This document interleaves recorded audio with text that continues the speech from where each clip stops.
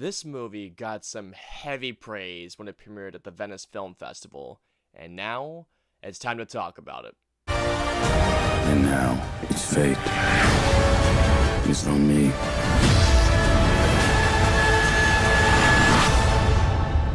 We have a job to do. Are you ready? I'm ready.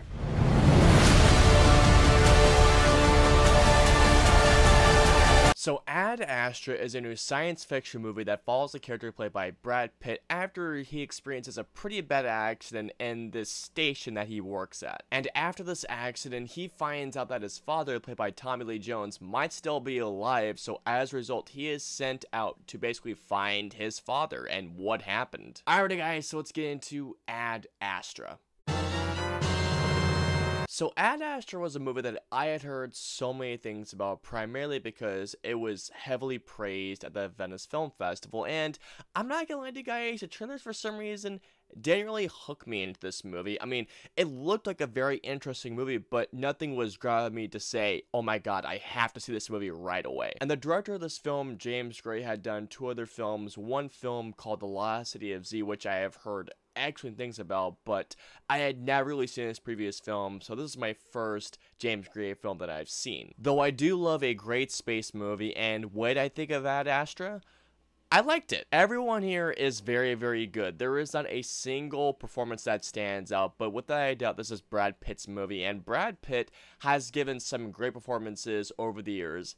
This is one of his best performances that he has ever given, and this is coming from a guy that has been acting for many years now. Brad Pitt's acting really relies more on his facial expressions on and how he reacts to certain things. Like there is a particular scene in this movie into which you can just see just the psychological beats that are going in his head and I just thought whoa. But in terms of the other performances of this movie, Ruth Negga is in this movie, Donald Sutherland is in this, and I like I mentioned before, Tommy Lee Jones. And when they do have screen time in this movie, they are fairly good in this movie. Something else that I did like about this movie, for some parts I should say, is how James Gray directs this movie. Now, like I mentioned before, I had not seen a James Gray film beforehand, so I wasn't really aware of how he directed a certain movie. For some parts of this movie, I really enjoyed of how James Gray sets up certain scenes, the direction he takes some scenes. This is a movie that from the very start, James Gray has a very methodical like pace this movie. Not to mention there are some really cool scenes in this movie, one to which I'm only gonna say one particular thing.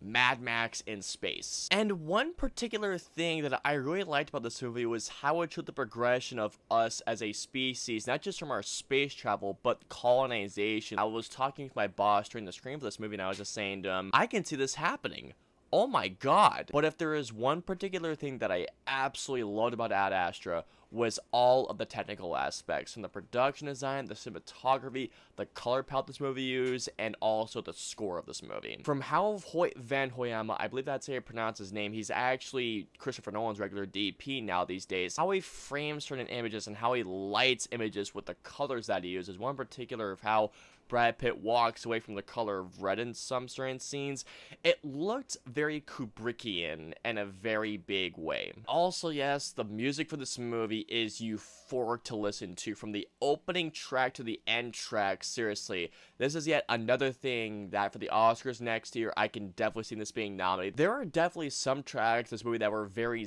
Hans Zimmer-like. And I'm not gonna lie, the message at the end did get me.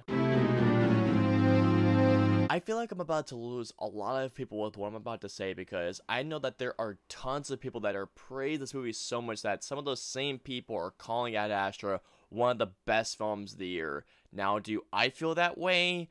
Unfortunately, no, I do not. Going into the cast of Ad Astra, you have Brad Pitt, who does give a phenomenal and a Oscar performance, but when it comes to everyone else, Ruth Negga is barely in this movie. Donald Sutherland, barely in the movie, and Tommy Lee Jones also barely in this movie. I mean, you have some big name guys who really don't get a lot of screen time. Like, I think maybe five or 10 minutes max of screen time for them. I mentioned that this worked in some parts for me, and that's James Gray's direction. Now, I feel like that since I hadn't seen a James Gray movie beforehand, that it was a bit of a detriment to me because I really wasn't aware of how this man had directed movies prior. And since that this movie is more of a slow and a more methodical pace movie than I was expecting, I'm not gonna lie to you guys, for some parts, I was kind of bored. And I actually don't mind slow burners whatsoever. In fact, I love some of them out there when they have great stories, great characters, and particularly a phenomenal payoff. Like, if you ask me personally, what the best slow burners are of the past couple of years, one of them is Sicario, one of them Arrival, but the most recent one that I could think of was Annihilation. And here, while this movie definitely has some great parts when it came to the payoff, it just wasn't quite there for me. I mean, I will definitely say that the message did get me, but it, it didn't hit me as hard as I would have liked it to. Another thing for me was this. It felt like to me, at least, that half the plot of this movie was Brad Pitt's character trying to find his father, played by Tommy Lee Jones, while another part of this movie was Brad Pitt's character trying to do another certain thing.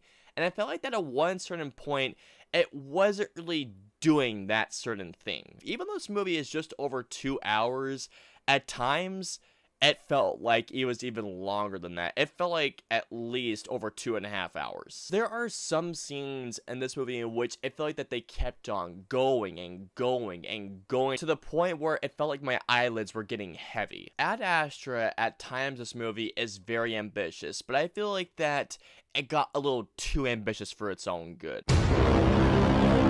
So overall, Ad Astra was a movie that I liked, but I just didn't love. Ad Astra is well crafted. It has a Oscar-worthy performance from Brad Pitt, and not to mention with some immaculate cinematography and euphoric music. Unfortunately, though, the movie story didn't have me emotionally invested enough to have me caring about its characters, and not just that, the movie is a very slow burn that I feel like that a lot of people will be really put off by. But all in all, I did like Ad Astra more than disliking it, so I'm going to give Ad Astra a 3.25 out of 5 stars. This was definitely a solidly crafted science fiction movie, but unfortunately, I just did not love it like a lot of people do. Alrighty guys, so comment down and let me know below. Have you guys seen Ad Astra? What did you guys think of Ad Astra? Are you guys looking forward to this movie? Let me know below. If y'all want to follow me on social media, I'm on Facebook, Twitter, Instagram, Twitch. I'm also on Snapchat and Stardust. So if you guys want to follow me on all those social media platforms, all the links in the usernames are in the description below. I hope you guys enjoyed my review of Ad Astra. If so, please hit that like button and subscribe. Also, don't forget to hit that notification